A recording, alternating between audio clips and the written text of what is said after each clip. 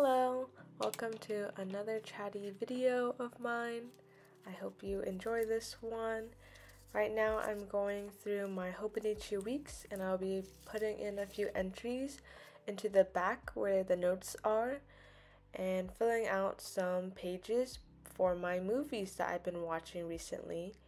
Uh, I wouldn't recommend reading what I'm writing unless you want to be spoiled or if you're just that curious, but just know there might be, or there very much is a high chance there are spoilers in my writing because I'm writing about my review and then summary of the movies.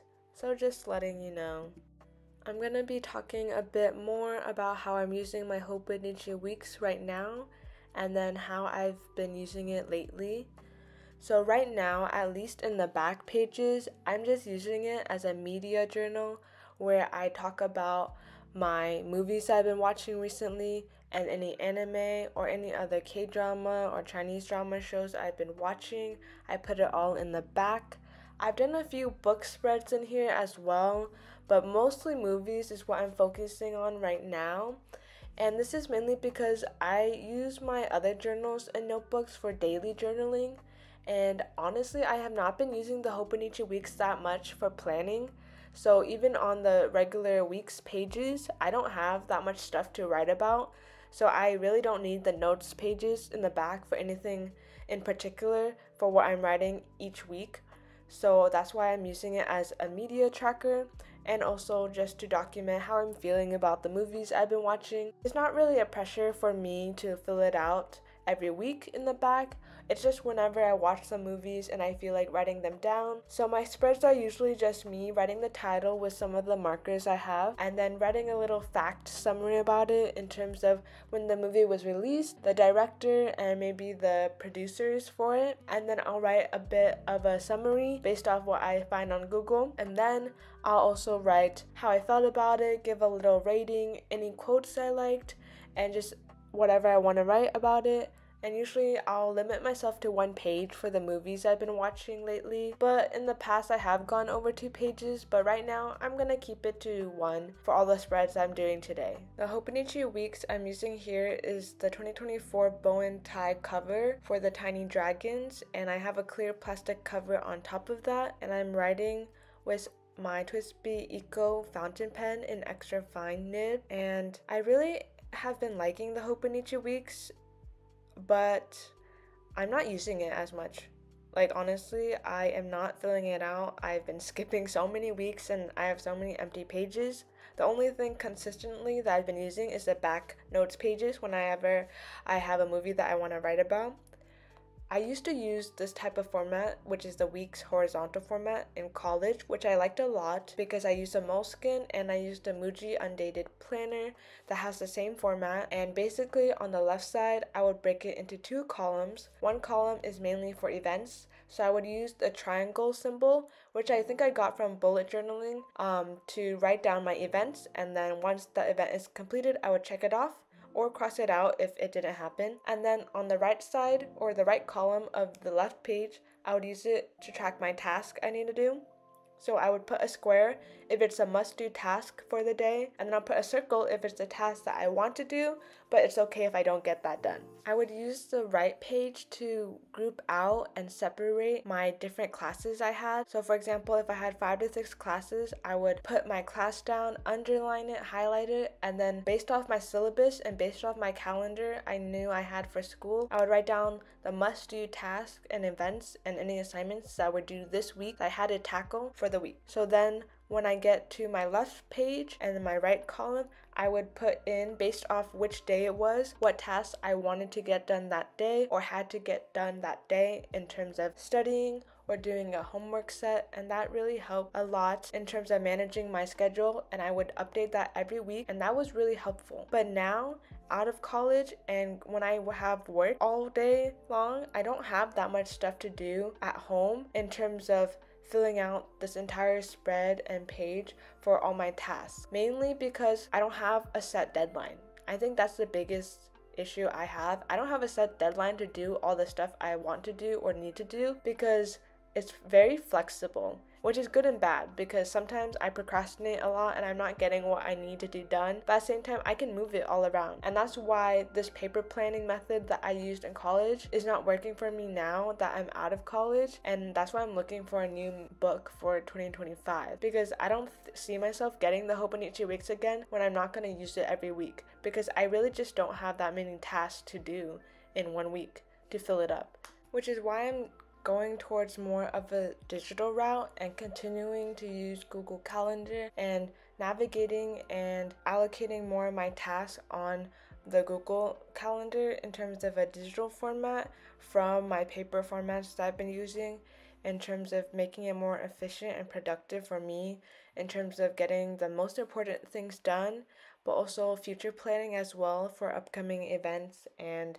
other special tasks that I do have to get done. But otherwise, I've just been enjoying the Hobonichi Weeks notes sections as my media journal. This happens a lot for a lot of the notebooks I've tried, and I don't really use it for what I bought it for. I end up just using it as a media journal, which I don't mind because I do find enjoyment in writing in it. I do really like writing with my fountain pen in the Hobonichi weeks in terms of the nice Tomoe River paper. So I've been liking that a lot. But I still am trying to figure out what to do with the week section because sometimes I'll be very hyped up about it and I'll use it and I'll fill it out. And then the following days later, I haven't checked it at all. I'm not using it. I'm not checking anything off. I don't really look at it. It stays on my desk all the time, but it's just closed on my desk. So it looks really pretty, but I'm not really getting a use out of it right now in terms of planning. If you like this horizontal weeks layout, I would recommend looking at Moleskine notebooks. Muji, they have A5, A6, undated, and Traveler's notebook inserts. They have this horizontal layout as well dated and undated. So if you want this layout in a different style or in a book size that fits your needs, there's plenty of options out there that could be good for you. It's just that right now I'm no longer really needing this style of notebook planning because it's no longer fitting the lifestyle I have now and how I want to journal and plan right now. And I think that's a big thing I want to focus on for 2025 is really downsizing to one book that is dated. I do not want two books again that are dated. So that's a big thing for me. And then also realizing that I still think I'm a planner and I want to have my plans scheduled but I'm going to use Google Calendar more and more because it's just more efficient and effective for me. I don't need the paper planner as much anymore because all my tasks are very flexible and I just don't have that many tasks in general that I need to do on a weekly basis because a lot of them can just be moved around and I want a book that can reflect that and help me with my current lifestyle. I feel like in 2023 and 2024, I've done a lot of exploring in terms of new notebooks and different brands. And in 2025, I plan on doing even more of that. I'm slowly trying more and more things and figuring out what I like specifically. So I'm very happy about that. But it's definitely a journey and a process. But I really enjoy journaling as a hobby, so I'm very happy to explore more and try new things. Right now, I am on page 29 out of 73 blank pages in the back of the Hobonichi Weeks, and I'm excited to watch more movies and hopefully some anime as well, so I can finish this back of the Hobonichi Weeks. And then I think after that, I think I will try to do some repurposing of my Hobonichi Weeks and play around with some spreads in the weekly pages that I have not used. I'm not too sure how I want to go about using those pages and repurposing them, but hopefully I'll find some ideas and I'll show you guys if anything looks good to me or if anything works out. But otherwise, I do intend to finish up this notebook or this planner in 2024 at least. I'm still using it and I am enjoying the back pages at least. I really like the paper and I love the brand. I've been watching the previews all of August so far. So I'm very excited to see more from the brand and see what's coming in 2025. But I just need to figure out what I'm gonna be doing next year.